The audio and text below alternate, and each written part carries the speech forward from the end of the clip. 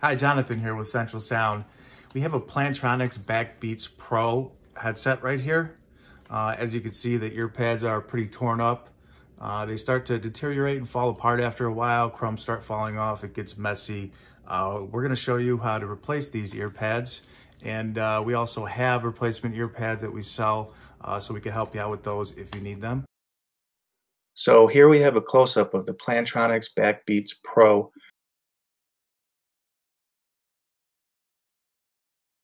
So in order to remove these ear pads, you would gently pinch them and pull them from the ear cup.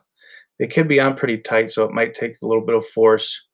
Uh, you could put something in between to pry them apart. Perhaps uh, your fingernail or uh, a small screwdriver would be okay too. And this is what they look like. They're small plastic clips that hold the ear pad in place so you want to make sure when you are installing the new one that you align those clips where they belong.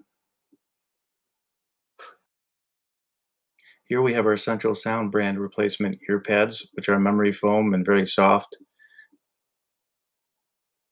And you want to make sure you align those clips onto the ear cup appropriately.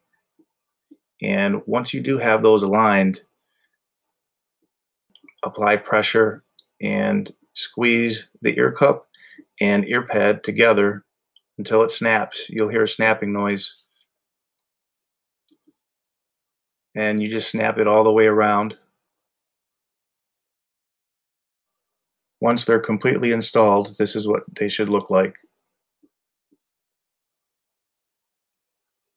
And as you can see, the bounce back of the foam is slow, so it's high grade memory foam uh, as compared to the original uh, old ear pads. It's a tremendous difference, and your sound quality will definitely improve as well. Not to mention hygiene reasons and for the looks. We hope this video helped you out. You can purchase these replacement ear pads at centralsound.co.